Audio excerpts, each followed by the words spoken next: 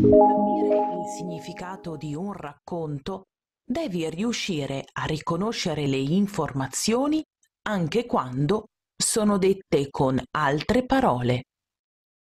Alice Cascherina Alice Cascherina casca sempre dappertutto. Oggi pomeriggio il nonno non riesce a trovarla.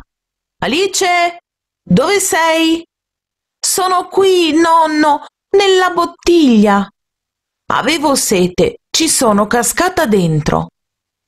Ed eccola là, che nuota affannosamente per tenersi a galla. Il nonno cala una cordicina dentro la bottiglia. Alice si aggrappa e si arrampica con destrezza. È brava in ginnastica. Per casa leggeremo tante e tante volte la storia di Alice Cascherina, riascolteremo il video che ho il link di YouTube sulla storia uh, di Gianni Rodari. Dopodiché ricopieremo in stampato minuscolo solo le frasi della, della comprensione corrette, quelle spuntate con la X di rosso.